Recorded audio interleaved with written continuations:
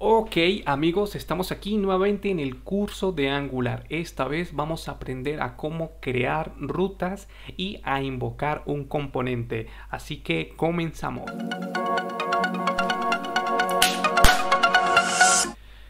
Perfecto, estamos de vuelta y podemos observar el proyecto en donde quedamos. Ahora, ¿qué queremos hacer? Queremos que cuando le demos clic a uno de estas, a una de estas tarjetas, nos lleve a su pantalla de detalle. En este caso, lo que tenemos que hacer es crear un componente con el nombre que nosotros queramos. En este caso, yo ya creé un componente que se llama post detail. ¿Cómo lo creé? Con ng generate component post detail. De esta manera, al darle enter, se te ejecuta un componente.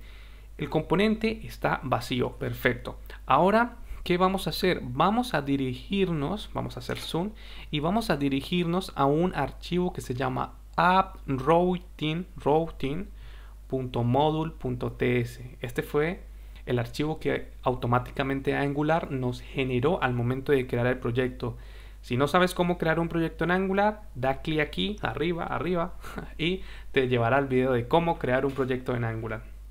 Así que nos ubicamos en el routing module y nos ubicamos en la constante routes. Hacemos un enter y vamos a, eh, a comenzar a crear el objeto de nuestra ruta. El objeto se compone por un atributo que se llama path. Este atributo va a ser la ruta que queremos crear. En este caso yo creo, quiero que la ruta se llame post y que sea localhost slash post slash el ID.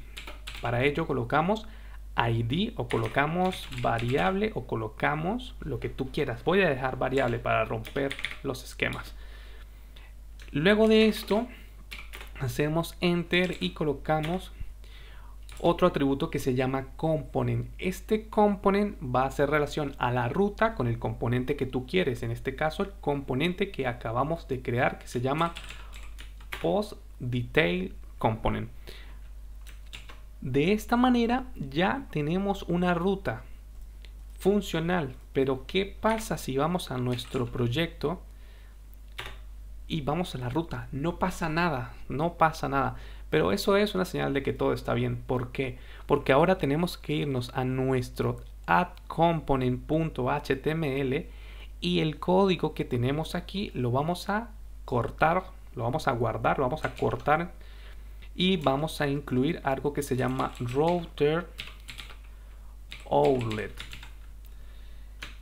El router outlet va a ser como un componente que ya está establecido por Angular donde se van a cargar la información de las rutas.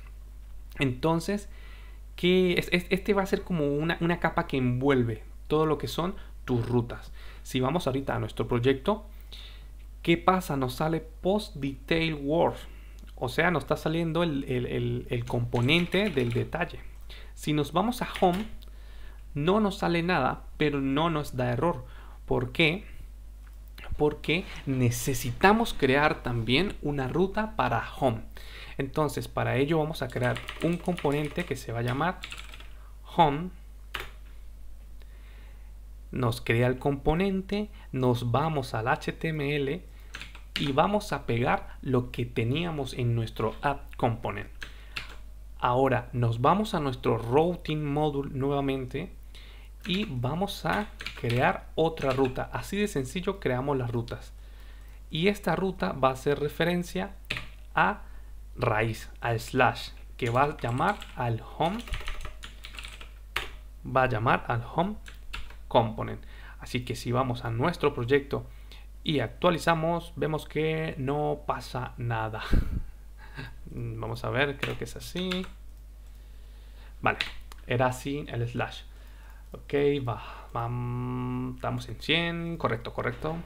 Todo correcto hasta el momento, pero ¿qué pasa con nuestra información? No sale nuestra información.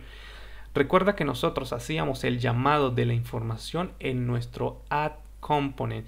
Así que la lógica que tenemos en nuestro add component tenemos que llevarla a nuestro home component.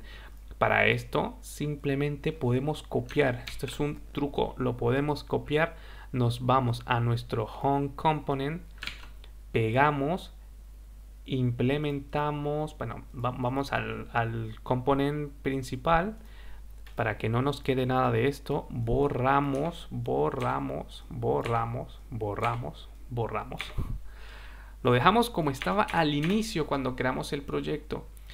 Y esto lo borramos de aquí también para no tener código que no se usa. Y en este caso volvemos a importar nuestro REST service. Guardamos y ta, ta, ta, tenemos la información, ya nos está cargando, pero ¿qué pasa? ¿Por qué se fue el estilo?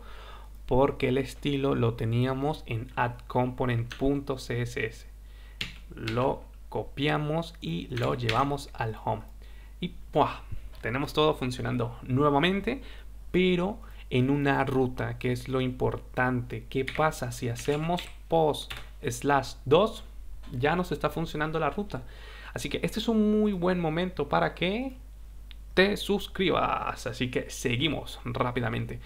Ahora vamos a agarrar este parámetro, este número 2, ya que este puede ser dinámico para poder darle funcionamiento de lo que nosotros queremos. Así que nos dirigimos a nuestro post detail component y aquí nos vamos a ir, voy a buscar aquí en la documentación de Angular para estar lo más actualizado posible. Vamos a agarrar el road y lo podemos hacer con esto. Vamos a importar en nuestro constructor ¿sí? esta importación y luego de esta importación nosotros nos vamos a dirigir al init donde nos dice aquí que esto ya está desactualizado. Ok ahora sí. Nos vamos aquí a dirigir al engine on init y el, en el engine on init nosotros vamos a agarrar el parámetro. Cómo se llama nuestro parámetro ya lo vamos a ver. Vamos a hacerle un console.apparatmat a ver qué está pasando ahí, qué está sucediendo. Nos vamos a inspeccionar, nos vamos aquí y voilà. Tenemos que nuestro mapeo de parámetros tenemos nuestra variable que aquí puede ser título del post y vemos cómo tenemos el título del post. Así que lo único que tenemos que hacer ahora es declarar una variable llamada id que va a ser igual a any y luego de esto vamos a vamos a agarrar la variable. Entonces para esto hacemos esto y le decimos que dentro de parámetros existe algo que se llama variable Vamos a decirle aquí esto y le decimos que es any. Y voilà, lo tenemos aquí. Ahora, ya que sigue, bueno, lo que sigue es haciendo uso de los videos de cómo obtener información a través de una API o un servicio, ya podemos jalar una información. En este caso, mm, ¿cuánto llevamos? 8 minutos. Sí, creo que sí, nos da tiempo vamos a obtener vamos a obtener el detalle de la publicación con el ID 4 o el ID 1 y lo vamos a hacer a velocidad flash para que no se alargue el video. Nos vamos a post detail component siguiendo la estructura. Vamos a llamar una función que se llama cargar data Luego de cargar data, recuerda que también debes importar el REST service, que ya lo vimos en el video anterior.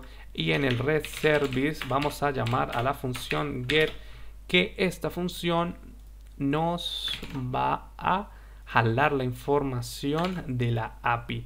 Recuerda que aquí vamos a pasar nuestro ID, que es el que está en esta ocasión y nos vamos a suscribir a nuestro servicio para obtener la respuesta de la data. Una vez que tenemos la respuesta de la data, vamos a borrar esto. Vamos a escribir aquí respuesta.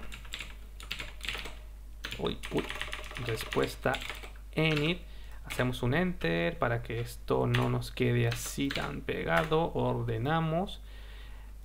Agarramos esto aquí, llamamos cargar data, le decimos que pase el parámetro de la variable y le decimos aquí que respuesta va a ser igual a respuesta. Ahora nos vamos a nuestro add component y aquí va a tener data va a ser igual a respuesta.json y de esta manera ya tenemos la información de ya tenemos la información de nuestra API. Así que, ¿qué queda? Pues queda simplemente usar un poco de diseño, un poco de imaginación para ya empezar. Ok, ya va. Stop aquí. Vemos que está llamando siempre la ID 1. Claro, claro. ¿Por qué? Porque aquí tenemos el ID estático. Lo que debemos hacer es pasar el ID. Y ahora sí vemos ID 2, ID 4. Y listo, en 11 minutos vemos cómo tenemos una ruta y vemos cómo obtener la información a través de la API. Nos vamos a extender unos 3 minutos más para explicar cómo hacer clic en esta tarjeta. Así que para ello nos vamos al componente de Home en donde tenemos las tarjetas vamos a hacer uso del router link y le decimos router link. Eh, le decimos que aquí va a ser igual ya igual a esto. Recuerda que estos son tomas en vivo así que aquí puede pasar de todo ya lo tenemos. Entonces, eh, ¿cómo le colocamos aquí el ID? Pues en detalle de video ID.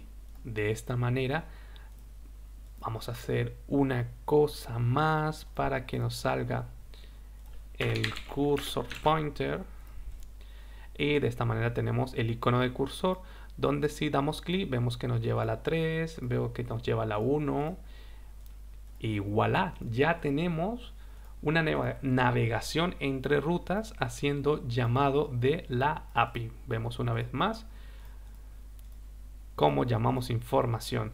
Así que vamos al siguiente video donde ya tendremos maquetado nuestra página de detalles y vamos a hacer uso de el HTTP, HTTP post para poder hacer envío a través de la API. Así que nos vemos.